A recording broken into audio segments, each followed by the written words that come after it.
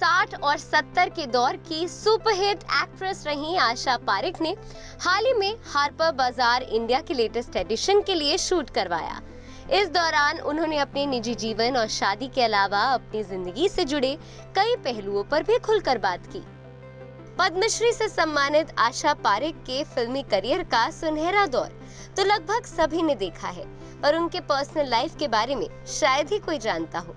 निजी ज़िंदगी में कई बार उनका दिल टूटा दो बार तो ऐसा मौका भी आया जब वो सात फेरे के काफ़ी करीब पहुँच गई थी लेकिन शायद किस्मत को कुछ और ही मंजूर था लेकिन क्या उन्हें इसका पछतावा है आइए जानते हैं Well, it was not destined that I should be married.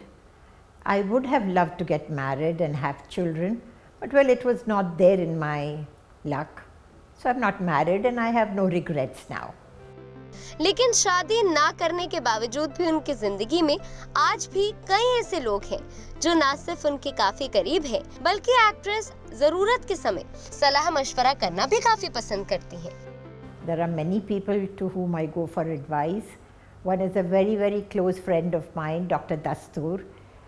Then Wahida Rahman ji, whom I admire a lot, and I listen to her when she says that, no, this is not right, or this is right, you know. So I listen to her, and um, I, I mean, if I am going wrong, I would like to get uh, advice from anywhere if the advice is good, and if I think I should take the advice.